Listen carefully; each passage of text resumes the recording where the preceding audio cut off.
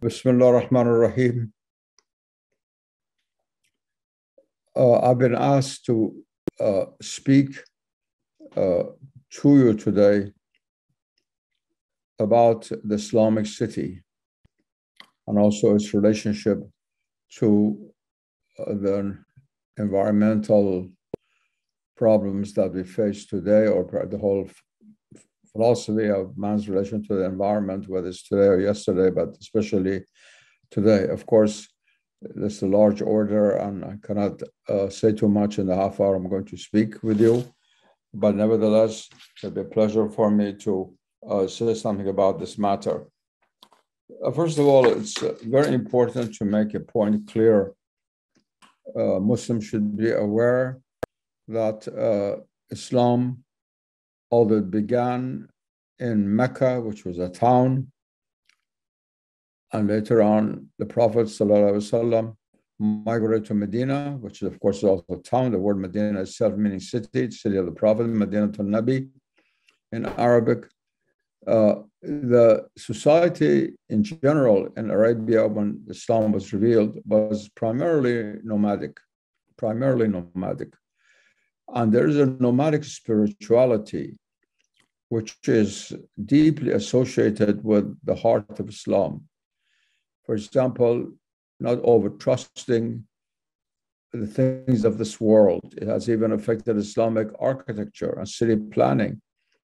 In the old days, each generation built for itself, not as if they were going to live forever like they do in modern times, using cement and steel. They built uh, from simpler material, although heavy material was available, like a stone. Many people built from brick or uh, uh, mud or so forth and so on that we see throughout the Islamic world. It was not only economic necessity, there was a philosophy connected with it. That is to realize the passing nature, the transience of the world, and also not to over solidify, over crystallize become too heavy. These are all traits of a kind of nomadic spirituality which Islam has contained within itself. But this having been said, there's no doubt that Islamic civilization, as we know it, rose in Islamic cities. And it's not accidental that the word uh, city and civilization have the same root in the language I'm speaking right now. And also in Islamic languages, although the word hadara is used in Arabic, which is related, in fact, to uh, settlement, to uh, uh human settlement. In Persian and Turkish and classical Turkish, Ottoman Turkish, and other languages, we use the word tamaddun, which is in fact comes from the city, like like civilization. Uh, in, uh, the very word is re- reveals how what we call civilization is related to the city. Of course, the city was also the source of decadence, of moral decadence, and also of much greater uh, violence uh, uh, than the countryside. Of course, there were wars also among the nomads, but they lived a simpler life, much closer to nature. And, and many of the strong uh, forces of the soul to uh, gain control, to gain power, to gain wealth, and so forth and so on, which uh, are the running motives for so much contention throughout history in all civilizations, uh, was stronger in the cities. Ibn Khaldun, the great Islamic historian, of course, has devoted a great deal of study to this uh, rhythmic relation between the nomad and the city, and this point of the gradual decadence that takes place in the city, and then the uh, city is rejuvenated usually by nomadic attacks, which revive, revive it, and new uh, dynasties come, and so forth, into which I cannot go. But we can say that uh, what we consider to be Islamic civilization is the fruit of cities. But cities not only as big cities that we have, we have today, but also small towns. Let us remember that probably the first city in the world to have a million people was in the Islamic world. It was the city of Nishabur in Khorasan, in my own country, Iran, Persia. which was destroyed by the Mongol invasion, and everyone was put to death. Even the cats and dogs, every living creature was put to death. One of the great atrocities of the Mongol invasion. And now it's a small town, of course, but before that, they say it was the first city that had a million people in it, more before Beijing or uh, Indian cities, or certainly before Paris and London, which were then small towns. Uh, anyway, uh, besides that, uh, the Islamic world had also other major cities with fairly sizable populations, as many of them are great centers of culture, such as Isfahan, Cairo, Damascus, and Baghdad, and so forth. I will not go over the list. However, it's very important to realize that the intellectual activities that we associate with cities were not confined to these big cities. Yes, there were very good madrasas in all these cities that I mentioned. Al Azhar University still survives in Morocco, the Qarawiyyin and Fez. Some of the other schools in um, uh, Baghdad and so forth were destroyed by the Mongols. A few survived, Al Mustansiriya and so forth. Uh, but anyway, the, the British schools, very important schools, and many people came to them. But it's also very important to note, important point to note, that uh, there were many people who studied in small towns. And some of the greatest thinkers of Islam came from small towns and only later came to big cities for, let's say, advanced studies or something like that. Let me give you an example. One of the greatest Islamic philosophers, Sohrawardi. Sohrawardi came from a little town called Sohraward, which even now most Persians can't locate on the map. It's too small. It's in western Iran, near Zanjan, the city of Zanjan. And this little town whose, whose geography is forgotten so much. Look at the number of people uh, produced in Islamic history. All the Sohrawardis through the Sohrawardi order in India who are so famous, and of course, the great philosopher Shahabuddin Sohrawardi, from this little town. And then they, he studied in Zanjan, of course, later on to Isfahan and here and there, but uh, he came and had the earliest uh, formation in small towns. So it's very important to remember that although the Islamic city is, of course, the center of Islamic civilization in so many ways, it's not only big cities, it was small towns and uh, going down to the level of what we call even large villages, uh, that their centers where education was carried out, where culture was preserved, great poetry was created, great prose was created, and so forth and so on. Of course, there's no doubt that, for example, a field like astronomy, you need to have astronomers who have uh, instruments and later on, of course, had observatories, the first built by Maragha, by Nasiruddin Tusi, and the town, Idris of Holaku. Yes, that was a town, that was a city. The, the, the remains of the observatory are still there. I'm not denying that. Or great hospitals, of course, like the uh, hospital that, that Razi was the director of in Baghdad or other places like that. But it's also important to realize that it is not like what many Muslims think today that oh, all Islamic culture will belong to the big cities, the towns are without culture and without thought and so on and so on. That's total nonsense. That's not at all the case.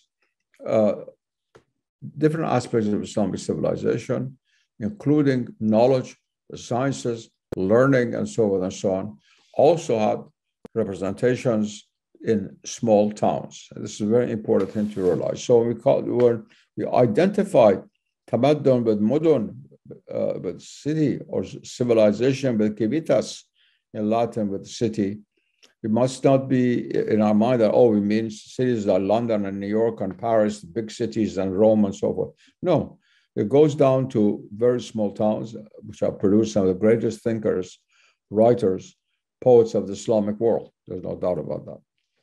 Now, uh, having said this, uh, I want to say something about the structure of the city itself in Islamic civilization. Uh, in Islamic civilization, as in fact in most other traditional civilizations, the city was always limited by being walled. It was a walled city. And usually it had 12 gates corresponding to 12 signs of the zodiac and 12 months of the, of the year, and a whole ge- geographical orientation, symbolizing the four seasons and so forth and so on, into which I cannot go, but it was symbolic and has some of the most beautiful gates uh, all the way from Morocco in Meknas, the famous gate in Meknas, to the Quran gate in Shiraz, some of which have survived in these cities, uh, were gates into the city. Many of them were destroyed in the 20th century, 19th century, when the Islamic cities, following Western models, suddenly began to splurge and break the walls around them and became really urban sprawl that we have today. The ugliness of a present day Cairo or Tehran or Lahore had nothing to do with traditional Islamic cities. Traditional Cairo meant uh, Fatimid Cairo and later on Mamluk Cairo. And it was uh, in walled and bound and structured, and was always a relationship with the outside, which was a positive relationship. Now, this brings me uh, down to a very crucial issue, which I really don't have time to deal too much now. But let me say that uh, the modern city, since the rise of the Industrial Revolution, and even before that, but especially since the 17th century, modern times, 17th, 18th century, is completely out of equilibrium with its natural environment. A supreme example is a city like New York. You cut off New York from its environment, and there's no food, uh, that cannot grow its own wealth, uh, he- healthy food to eat, or any kind of food, people would starve to death and its effect upon this environment is immense. From 50 miles from, uh, before you get to New York in the middle of New Jersey, you feel the industrial uh, blight, uh, the ugliness of the countryside, the blackness of the soil, all of these things before you reach the Holland Tunnel to get into New York. And the same is true of other big cities. I just gave New York as an example, because it's kind of a supreme example the cities are totally out of balance with their ambience. A traditional Islamic town, I don't say it is a big city, it's a town, a village in Afghanistan right now, could be cut off from the rest of the world for the next 10,000 years and survive. If nothing else happens, you know, earthquakes, invasions, I'm not talking about that. And this is a very important point to consider. The Islamic city was always in equilibrium with its environment. Of course, there were fields outside that planted uh, the produce that the people in the city ate and so forth and so on. No doubt about the gardens that gave fruit. But there was ecologically and environmentally a remarkable balance. And this balance penetrated even into the Islamic city, into the individual buildings. It's really a story for another day, but it's very, very important. A tradition to realize that traditional Islamic architecture was based on balance with the natural world around it. Every traditional Islamic house and architectural form, whether it be in the Medina of Meknas and Fas or in uh, Kashan and Yazd in my country or anywhere in between or other places, was, uh, was based on this equilibrium. For example, making maximum use of the shade during the day in places where the sun was hot, maximum use of cool air uh, with these narrow streets, which, uh, in a sense, imprisoned the cool air of the night and prevented it from rising. Whereas we have a big avenue, that doesn't happen.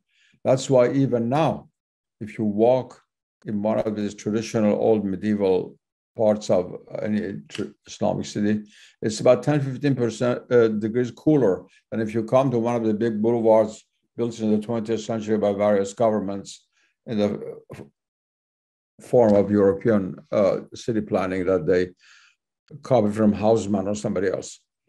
So uh, it's very important to realize that Islamic city and individual architecture try to live in harmony with the environment. I always give this uh, uh, example, but it's really a stunning example. Many decades ago, I was president of Iran's leading scientific and, and uh, university. And the question of air conditioning and things like that came up, and all these ugly buildings were coming up in Tehran full of glass, as if they were in Sweden, without considering that we're living in the Middle East. The sun is what it is, and so forth and so on. It was a big battle going on.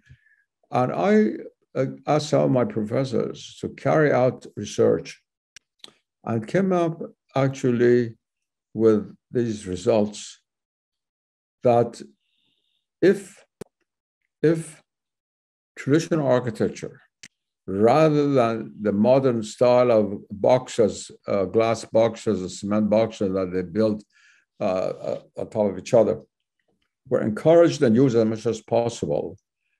It, money of that time to keep the temperature of the summer and the winter the same as now you have through artificial air conditioning and cooling system and so forth and so on would uh, save Iran around $400 million of that day, which was billions of dollars of today, just one city, the city of Tehran. And of course, nobody paid uh, attention, uh, question of greed, of necessity, what they thought about it was to be modern. And look what has happened uh, in the last 50 years. Tehran used to be a big garden when I was a child.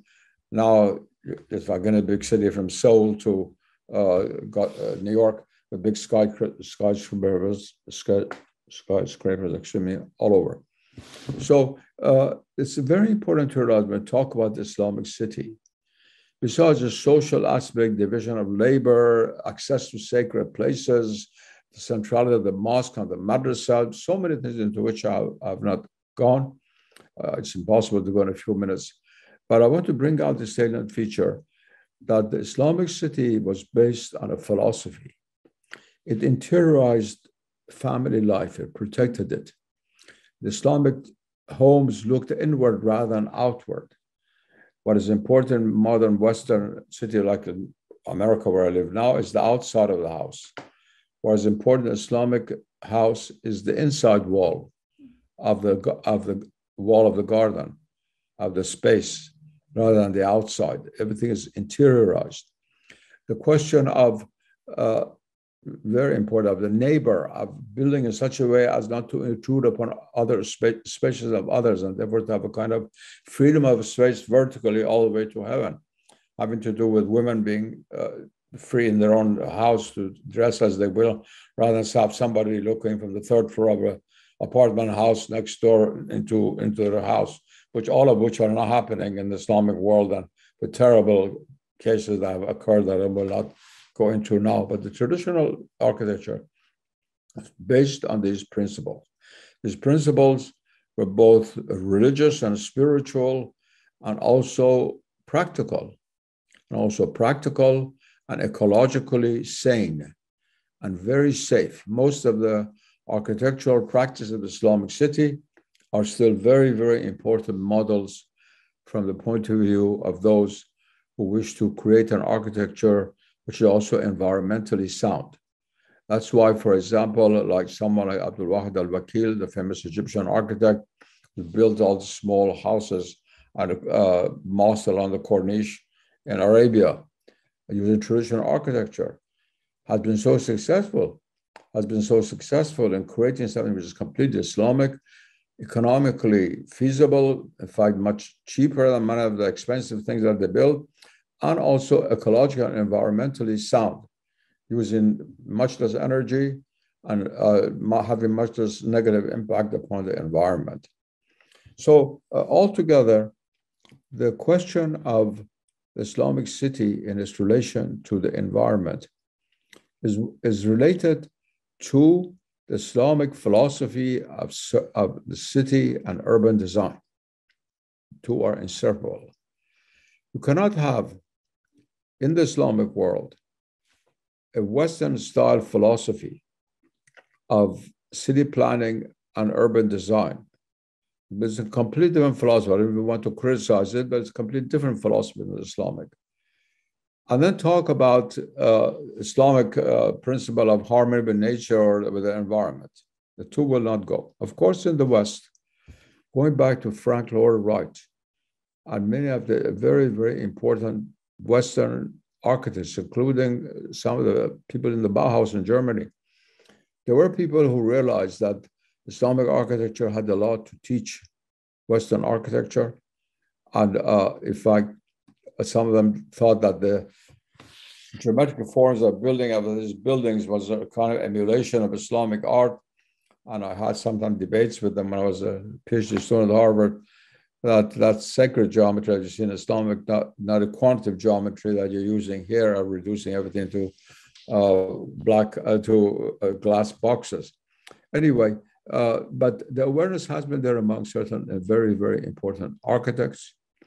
And uh, just to conclude, uh, I'm, I want to say that I'm happy that the awareness is gradually being reborn of the importance of Islamic architecture, despite the sprawl of the cities, the spread of westernization, and all of these things that have gone on that in, during the last half century. There are today a lot more young architects, Turks, Arabs, Persians, Indians, Pakistanis, and so forth, who are after creating an Islamic, authentic Islamic form of architecture than they were 50 years ago. I've been in exile for several decades in this country. One of the most important group of people who write to me constantly are young architects. Not only Persian, but mostly Persian, but also Pakistanis, Indians, uh, uh, Egyptians, and sometimes here and there. And there's tremendous interest among the young in creating an authentic Islamic architecture in a situation in which now, fortunately, the world realizes that modern civilization cannot go on like this without destroying the environment, and that we need to do something drastic. No, uh, it's not being done, but at least many people realize it, at least. Making money is still more important, so I'll keep procrastinating. But some people are doing something, so there's no doubt about that. And that also helps the situation of trying to revive Islamic city planning and architecture in such a way that to bring out its philosophy of harmony with the natural world, with the environment around it. If it succeeds, even on a smaller scale, it would spread. There's one man Egypt, Hassan Fathy, one man who began to try to revive traditional architecture and was totally neglected in Egypt because it was too beautiful and too cheap.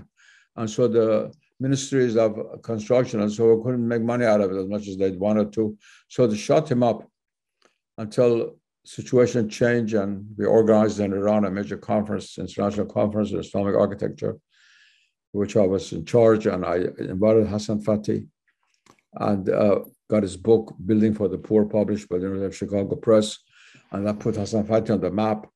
And then his students, Abdul Wahid al-Wakil, Omar Farouk, other famous Egyptian architects gradually became known. His influence spread elsewhere, uh, and he's played a very important role in giving courage also to a younger generation of Muslim architects or those who are not Muslim but are practicing architecture a la the Islamic tradition. Anyway, uh, what we need, just to conclude, is first of all, we need succinct works on the philosophy of Islamic architecture, on art, and the city, as has been done by people like Titus Burckhardt in his book, for instance, The Fez City of Islam, Stadt des Islam, Fez Stadt des Islam in German, which has been translated into English, in which he brings out the Islamic philosophy of the city and one of the greatest traditional cities of the Islamic world, and others. We need to expand that. And we also need to have the younger generation of people who are now that have their hands in building things, from bazaars to malls to houses to God knows what, uh, to be able to not only work but also to write about what they're doing, what ideas are, what should be done, in a time which is really uh, very important, critical, because what we do with architecture is not just fantasy. It will affect not only everyday life, but will also affect the environment, the world in which we live. And our survival depends on living in harmony with the world around us. And that is impossible without ha- having an imprint, which for man, its main imprint is architecture, city planning, streets, buildings, and so forth on earth. To have this imprint uh, be in harmony with the natural world.